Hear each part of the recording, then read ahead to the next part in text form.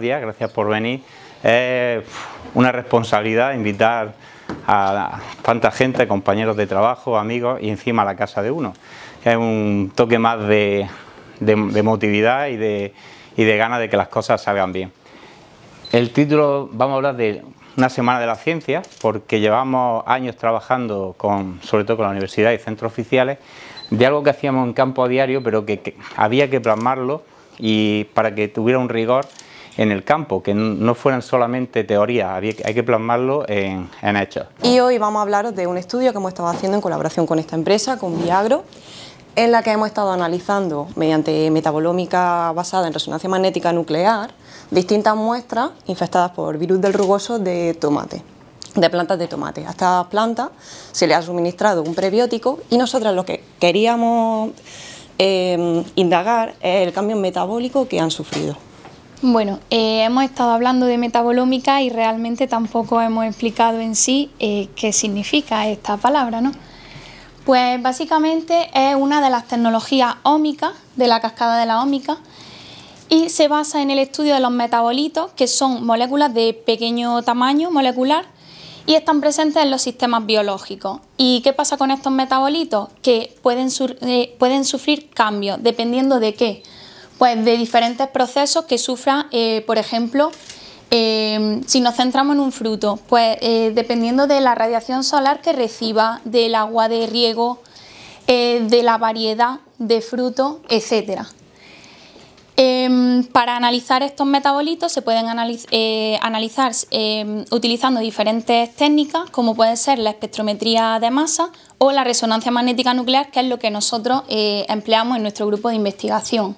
Y como ha dicho mi compañera, la técnica que usamos es la resonancia magnética nuclear o RMN, que consiste en, bueno, en una técnica espectroscópica que analiza, lo, aunque suene un poco complicado, los núcleos de la, de la molécula cuando tienen una interacción con un campo magnético. ¿Qué, ¿Qué, sacamos de eso? Pues nos permite elucidar las estructuras de las moléculas que están dentro de una muestra. Bueno, eh, del virus del rugoso tampoco me voy a meter mucho porque seguro que sabéis más que nosotras. Pero bueno, ya sabéis que es un virus que es devastador, que provoca distintas lesiones, tanto necróticas como em, deformaciones, amarilleo de la muestra. Y bueno, es un virus que es bastante fácil, de fácil transmisión, tanto por vectores como pueden ser plagas dentro, bueno, bichitos dentro del invernadero, como el material como tal, que lo estemos moviendo de una punta a otra dentro del invernadero. Y por lo tanto eh, pues puede, puede llegar a afectar a la calidad de los frutos y a su, y a su producción.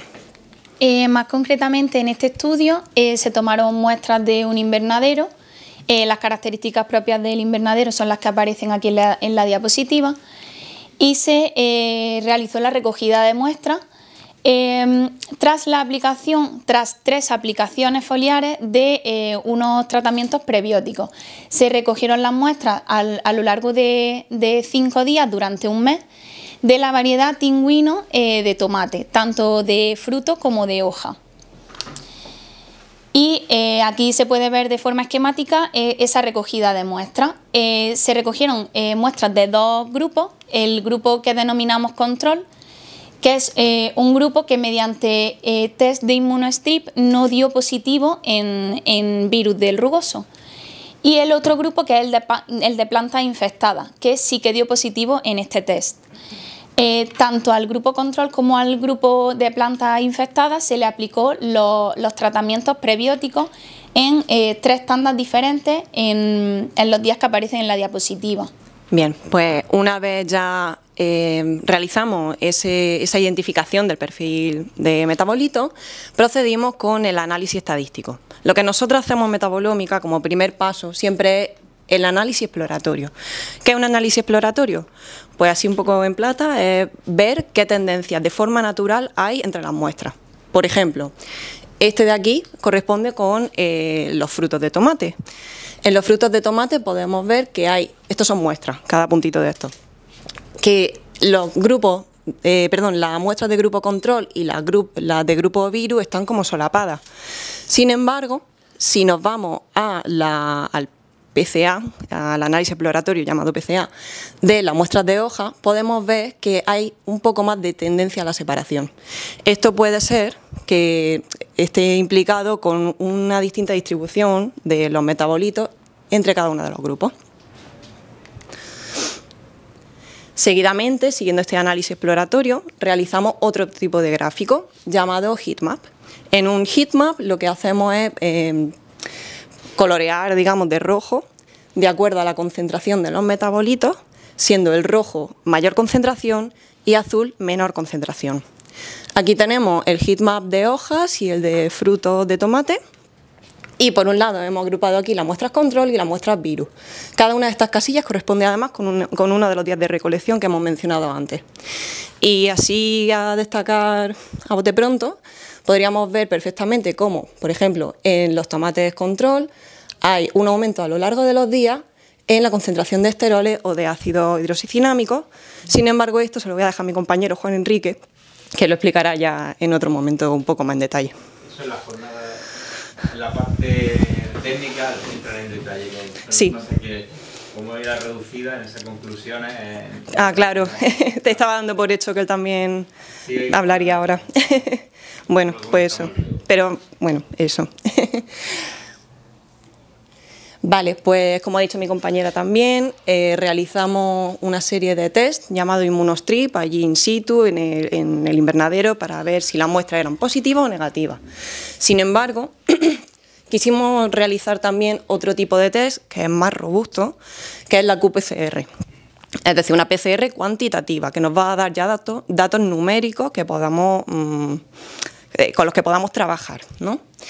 Eh, lo que pudimos ver en general es que las muestras control presentaban una carga vírica muy, muy, muy, muy bajita a lo largo de todos los días. Por ello, en, los test de inmunostrip daban negativo todo el rato. De hecho, hay que señalar también que en el día 28, aunque empezaron a dar positivo, eh, no eran igual que las que eran positivas en el primer día, ¿no? Eh, presentaban una carga mucho más bajita. Esto puede ser que esté relacionado con el tema de los prebióticos que fueron suministrados, que haya podido colaborar a un posible silenciamiento del virus del rugoso. Y bueno, finalmente, como conclusiones eh, finales de este estudio, se puede deducir que la aplicación temprana de, tratamientos prebióticos puede frenar eh, el aumento de esta carga viral y puede eh, llevar a una especie de silenciamiento del virus en las plantas control. Eh, esta aplicación de prebióticos también puede mm, estar relacionado con un aumento de la microbiota en estas plantas eh, tratadas, lo que hace que disminuyan los síntomas de deshidratación en hojas, como hemos visto. Esto hace que la planta esté sometida a un menor estrés hídrico y por tanto esta planta presenta una mejor condición fisiológica.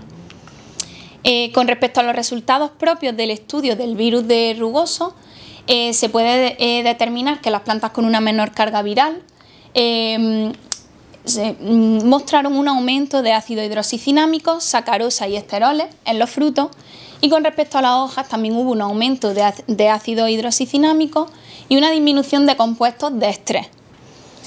Y por último, pues cabe resaltar la importancia del estado nutricional de la planta y del propio microbioma para el correcto desarrollo de estas rutas metabólicas en las que están envueltos los metabolitos de las plantas. Me toca hacer un, leve, una, una presentación que yo digo que es bastante controversial, por dos razones. La primera afecta realmente la, la salud de todos los que están presentes y también afecta principalmente el recurso que a nosotros como agricultores nos permite producir, que es el suelo. Eh, les voy a contar un poco lo que hemos ido desarrollando en base a muchísimos años eh, y para eso, bueno, me voy a valer de, alguna, de algunas diapositivas. Eh, hay un tema del cual no se habla mucho. una cosa que es bastante real es que hoy en día se podría decir que la especie humana está viviendo una de las situaciones más críticas de lo que se refiere la alimentación y la seguridad alimentaria. Eh, no por el tema de los pesticidas, no por el tema de, la, las fertilizaciones, es principalmente porque hoy día eh, las plantas teniendo un potencial genético importante, como siempre, no están siendo capaces de fabricar las biomoléculas que esos genes eh, les permiten producir. En otras palabras, podemos hablar de potencialmente superalimentos, pero lamentablemente hoy día las plantas no están llegando al nivel de poder expresar ese potencial que tienen. La razón principal por la cual no se está llegando a eso es básicamente un actor que pocas veces se conversa y se habla de él. Técnicamente hablando es un microbioma, no una microbiota. ¿Cuál es la diferencia entre una y otra? La microbiota es microorganismos que se identifican con nombre y apellido. Sabemos que cada vez que identificamos algo, el mundo científico se aleja de las tecnologías en el sentido que cada vez se sabe menos. Eh, hoy, día hoy día claramente nosotros sabemos que no más del 20% de la microbiología que habita el planeta está conocida. Por lo tanto, hablamos de microbioma. ¿Y qué diablos es el microbioma? Es, sin saber el nombre y el apellido, por la diversidad genética de los individuos, podemos detectar y saber que son distintos. Estamos hablando a nivel ya de genoma. Sabemos que toda la microbiología que habita en ustedes, habita en ustedes y en su tracto digestivo, porque ha sido incorporada a su sistema a través del microbioma que está en las plantas. Y ese microbioma que está en las plantas está dentro de ellas porque proviene del suelo. Curiosamente o irónicamente, todo lo que habita el tracto digestivo de la especie humana proviene del microbioma que existe en el suelo. Es una relación directa. La razón por la cual hoy día estamos viviendo una situación crítica es porque cuando el microbioma falla, comienzan los problemas. En el caso puntual de la especie humana es claramente un problema eh, principalmente de cáncer, que es la desactivación de los genes en la especie humana. ¿Por qué razón se desactivan? Justamente porque se empobrece esa microbiota que está en el tracto digestivo de la especie humana. Curiosamente, cuando llegamos a esta, a esta situación de la pérdida del microbioma del suelo se relaciona directamente con la pérdida del microbioma de la especie humana. Es así de radical y claro. Hace algunos años atrás, eh, cuando estábamos trabajando eh, con Francis en todo esto, ya estábamos conversando respecto de estos temas. A saber, cuando nosotros nacemos, nacemos con un tracto digestivo estéril en la medida en que le incorporamos alimentos, incorporamos ese microbioma que habita en nuestro cuerpo y que finalmente nos acompaña hasta cierto punto, hasta que comienza a fallar, hasta que, hasta que se comienzan a apagar esos genes en la especie humana. Esos genes en la especie humana se apagan principalmente por patrón conductual. Eh, en otras cosas, lo que comemos. Hay una gran influencia de ellos en nuestro comportamiento. Eh, básicamente el 50% de lo que nosotros comemos es ese microbioma el que nos dictamina qué comer. No viene del cerebro superior. Sabemos que el cuerpo humano tiene básicamente tres cerebros. Uno, el que ustedes todos conocen. El segundo es del tracto digestivo. El cerebro humano tiene 100.000 millones de, de neuronas el tracto digestivo tiene más de 100 millones de, de neuronas. Eh, hoy día en los centros de investigaciones más avanzados para hacer eh, biopsias de la calidad de las neuronas en nuestro cerebro, se están sacando neuronas del tracto digestivo porque la correlación es directa. Ese es el nivel de información y de trabajo que se están hoy día haciendo a nivel mundial y del cual muy poca gente trabaja o entiende. En este caso puntual, claro, nosotros buscamos una alimentación sana para estar de esa manera. Lo curioso es que para llegar a ese nivel, esta es la agricultura que estamos aplicando. Estoy hablando a nivel promedio de de, todo el mundo. Curiosamente hay una dicotomía. ¿Cómo podemos obtener la mayor expresión genética en esos alimentos si estamos aplicando tecnologías que erradican microbiomas, no los aumentan? De hecho, hoy día el gran problema o la gran salvación que se tiene dentro del mercado es que el consumidor está siendo más incisivo con información. ahora se miran las etiquetas. Hasta hace algunos años atrás nadie las miraba. Buscamos algo que tenga una relación y que nos diga salud. De hecho, lo que ustedes también van a ver hoy día es cómo a través de metodologías de producción aumentamos esa salud, aumentamos esa expresión genética en las plantas. Hoy día sabemos con las investigaciones que hemos hecho directamente a través de esta empresa y que está marcando tendencia hoy en día, no solamente aquí en Almería, sino que en Reino Unido, en California, en México, en Latinoamérica, la tendencia la está marcando lo que hoy día estamos generando acá. O sea, es importante decirlo y valorar lo que se genera eh, en todo este trabajo en conjunto de investigación científica y tecnologías aplicadas. Eh, esto a nosotros nos permite eh, aprender dentro de toda esta vorágine de investigación, a través de los equipos de, trabajo con las universidades, a través de estas tecnologías, eh, cómo funciona el sistema. Lo que ustedes están viendo aquí fue el primer, el primer choque, por así decir, profesional, que se generó cuando por primera vez comenzamos a aplicar tecnologías en donde activábamos determinado microbioma en el suelo. No el que ustedes conocen, que es el que se relaciona con la materia orgánica y el reino vegetal. No estamos hablando de ese. Eh, de hecho, cuando comenzamos a nivel científico a conversar cómo se genera la vida en el planeta, Básicamente, esa microbiología que ustedes conocen, que depende de la materia orgánica y depende del reino vegetal, claramente no es la que gatilló las condiciones. Había algo más. En este caso puntual, cuando nosotros activamos el microbioma, en particular este, en los suelos, e hicimos las primeras estudios con los, los mapas de calor en cultivos de tomate, nos sorprendió mucho a todos cómo se estimulaba la actividad de las biomoléculas que las plantas tenían. Claramente estábamos enfrente de algo que teníamos que colocar sobre la mesa. Había que señalarlo y había, que decirlo. Hasta ese momento todavía no se habían hecho trabajos relacionados con esta, en esta línea. Esto significaba de que una agricultura tradicional y convencional no estimulaba la activación genética de las, plantas. Sin embargo, lo que estábamos haciendo solamente eh, activando este microbioma en particular, generaba esta reacción.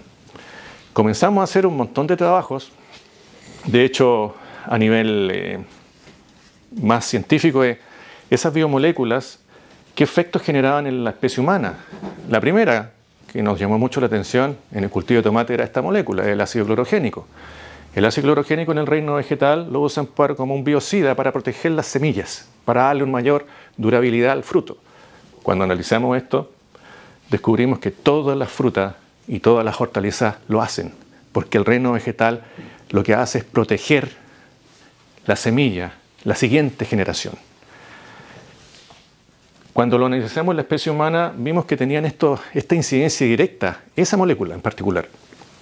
Pero lo que más importa a nivel de salud humana es que esa molécula alarga los telómeros en la especie humana.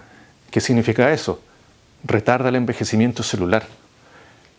Toda planta en el reino vegetal, por proteger su herencia, nos beneficia con estas moléculas que retardan el envejecimiento en la célula humana.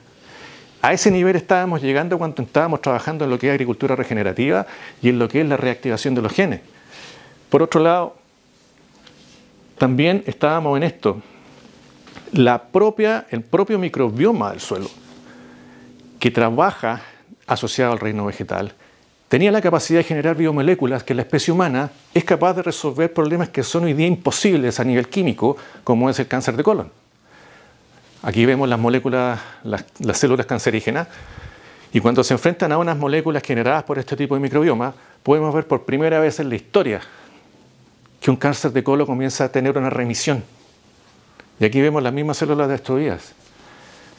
Podemos ver también los propios actores, que es parte de este microbioma en los suelos, cómo inhiben la proliferación de cáncer en la especie humana. O sea, cuando les digo que estamos en una situación crítica, no es solamente por la parte alimentaria, es por la parte de salud y la gran relevancia que tiene este actor, tanto en la producción, en la regeneración de los suelos, y en la salud propia de las plantas y de la especie humana.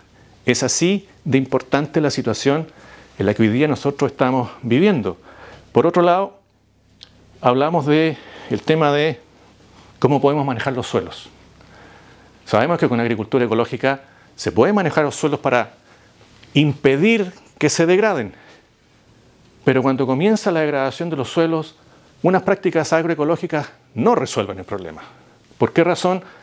Porque cuando estamos hablando de problemas eh, nutricionales, estamos hablando de sales. Suelos salinos, suelos sódicos, inhiben la microbiología que todos ustedes conocen.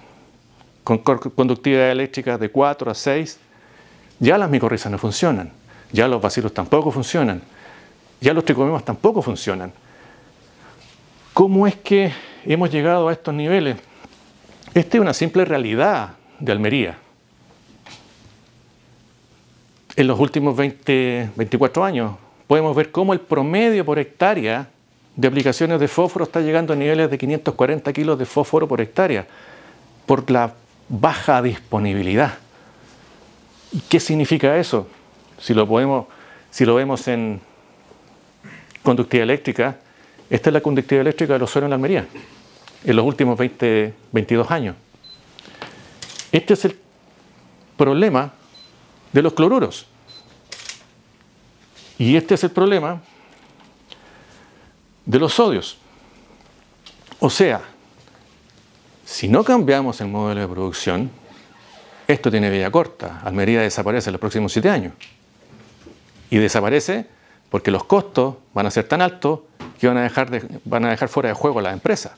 Algo hay que hacer, porque la razón por la cual llegamos a esta situación es porque claramente el modelo de producción fue una buena idea, no hay que negarlo, pero fue un mal producto. Si todas las cosas fueran buenas, no estaríamos hablando de regenerar suelo y no estaríamos viendo estos indicadores que nos están diciendo y nos están afectando directamente el bolsillo, pero principalmente nos está afectando directamente el tema de la salud humana. Y el modelo que aquí se aplica es exactamente el modelo que se aplica a nivel mundial. Cuando comencé a hacer estos trabajos hace muchísimos años atrás, trabajaba en el tema del microbioma. Esta, por así decir, es la, las estimaciones a nivel mundial. En la especie humana, el microbioma que habita los cuerpos, tiene un peso del orden de 100.000 toneladas, pero los primeros 30 centímetros de suelo albergan una cantidad de microbioma que es cercano a los 2.000 millones de toneladas. Pero no me respondían a mí esa pregunta de cómo diablos se preparó las condiciones del suelo para el reino vegetal.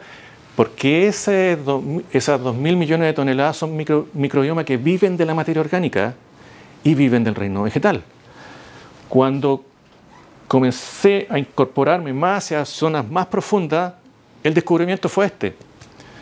En los suelos a nivel profundo, donde no hay materia orgánica, donde no hay raíces, donde no hay nada de origen vegetal, las cantidades de microbioma que existen ahí superan las 40 mil millones de toneladas.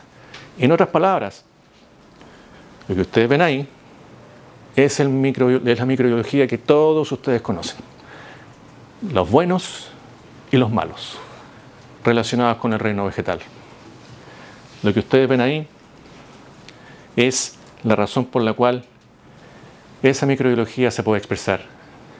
Ese microbioma, del cual nadie hablaba hasta el año pasado, se dio a la luz con todos los trabajos que desde aquí, en conjunto con la Universidad de Almería, se lograron determinar y eh, evidenciar la presencia de este tipo de, de microbioma.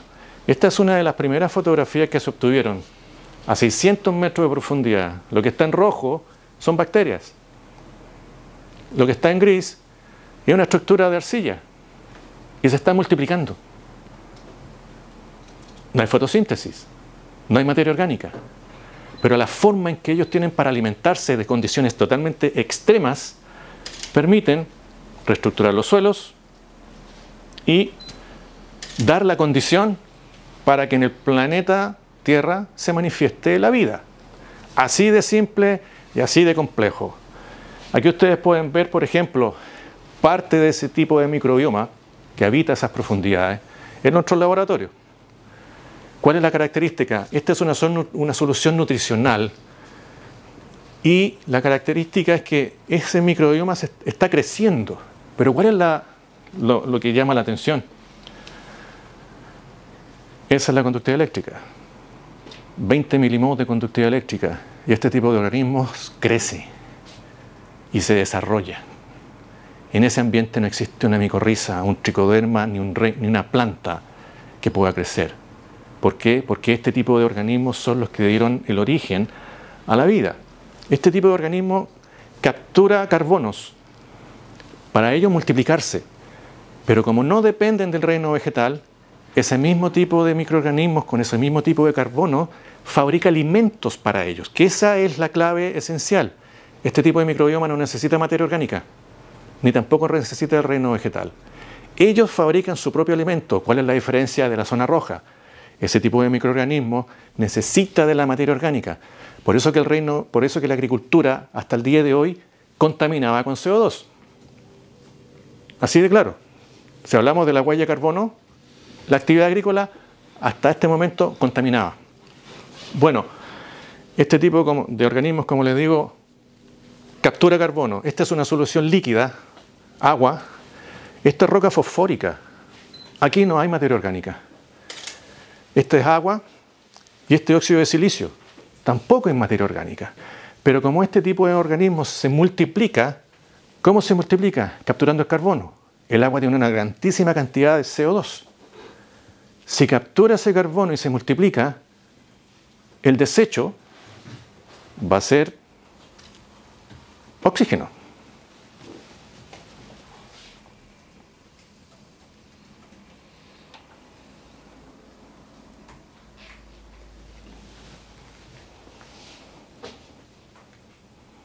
Después de 30 días se puede ver cómo esas burbujas es oxígeno. Por primera vez estamos frente a una situación en que la agricultura, por hacer el trabajo correcto, ya no sea culpable de emitir CO2 a la atmósfera, sino que sea una fábrica de oxígeno a la atmósfera.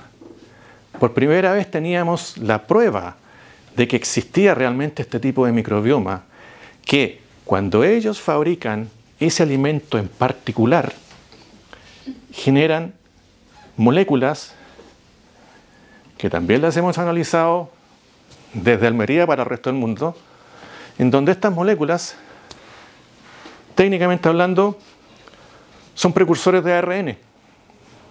Activan el ADN de la planta, porque el ADN, cuando tenemos precursores de ARN, ese ARN da lo mismo si es de una bacteria, si es de un hongo, si es de una planta, si es de un animal, si es de la especie humana. Si esto lo incorporamos a, la, a nuestro tracto digestivo, automáticamente comienza a reactivarse los genes de la especie humana también. Comenzamos a resolver el tema de varias enfermedades. Este es un mapa de calor en donde medimos las biomoléculas, no en microbiología, las biomoléculas. Claramente en los suelos tratados había una altísima concentración de precursores de ARN. No así en agricultura ecológica o en agricultura convencional. Porque la agricultura convencional y la ecológica principalmente trabajan con eh, materia orgánica. La materia orgánica se degrada y emite CO2 a la atmósfera. Este tipo de organismos, al no trabajar con materia orgánica, nos libera de esa presión o de esa esclavitud o de esa condena de tener que depender de materia orgánica. Porque la historia de este planeta no nace con la materia orgánica. La historia de este planeta nace con este tipo de microbioma. Es así de claro. Cuando las plantas capturan y absorben este tipo de biomoléculas, modifican su ADN por la metilación de las histonas, científicamente hablando, pero en el fondo activan los genes, y de esta manera pueden expresar su mayor potencial genética. Es una de las razones por las cuales a nosotros se nos permitió llegar a esta línea de poder silenciar virus. Aquí ustedes pueden ver un ejemplo en Sudáfrica, donde también estamos trabajando en los suelos más pobres a nivel productivo. SP10 y SP11 son dos mezclas de fertilizantes que suelen ocuparse también acá en Almería. Ese es el vigor de crecimiento de las plantas. El SP15, fíjense cómo se disparó. Resulta que el SP15 es la mezcla de fertilizante del SP10 en un suelo donde se activó este microbioma. Así de radical fue la reactivación de los genes de las plantas. Eh, todo esto va en cierta medida de la mano de cómo entendemos el reino vegetal. Aquí ustedes pueden ver un suelo convencional con fertilización tradicional. Lo amarillo es la cantidad de microbioma que está en torno a la raíz. Básicamente hay espacios vacíos. La diferencia con un suelo en donde no hay problemas de concentraciones de sales, pero también se, utilizan fertilizantes minerales, pero de una forma más científica aplicada con estas tecnologías, podemos ver el aumento de ese microbioma en torno a las raíces. En otras palabras, podríamos decir que este es un tracto digestivo enfermo con terapia de antibióticos y este es un tracto digestivo sano. Claramente aquí la expresión genética de la planta es la que nosotros queremos. ¿Por qué nosotros aplicamos pesticidas? Para evitar los ataques y para, que la planta produzca. ¿Por qué la fertilizamos? Para nutrirla y así produzca. ¿Qué es lo que queremos? ¿Queremos la máxima producción? Estoy de acuerdo con ese punto. Pero mientras más científicos nos colocamos en las terminologías, nosotros queremos la máxima expresión genética. Carlos, perdona, cinco minutos. Termino en tres. ¿Qué es lo que nos permitió a nosotros con todas estas tecnologías? Llegar a ver qué tanto activaban o desactivaban los genes los métodos de producción. Y bueno, técnicamente hablando, esto a todos les llama la atención. El cáncer comienza con vasos sanguíneos amorfos que con el tiempo comienzan a alimentar tumores. Eso se llama angiogénesis. Todos nosotros lo tenemos. Miren lo que pasa cuando un coliflor o un simple em, arándano tiene los genes activados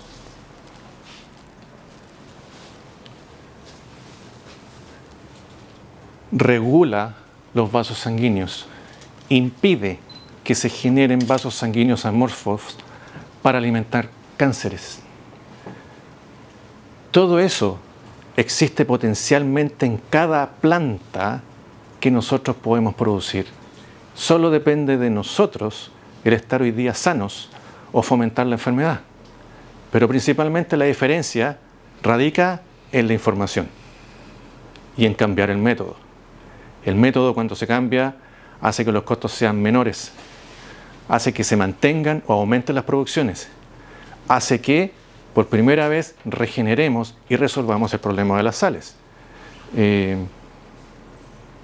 bueno, traté de darle un poco el tema, la visión desde el aspecto más eh, racional, porque es la realidad que estamos todos viviendo hoy día. Nadie quiere enfermarse y lamentablemente nos estamos enfermando por lo que comemos. No porque nos estemos envenenando con lo que nos comemos, en algunos casos sí. Lamentablemente, como estamos apagando los genes de las plantas, perdemos el potencial para que nosotros estemos sanos. De hecho, si hablamos del futuro, solamente me atrevería a decir de que en todas las investigaciones que hoy día hay, solo se refieren a la próxima generación. Nadie habla de los nietos porque saben que no llegamos.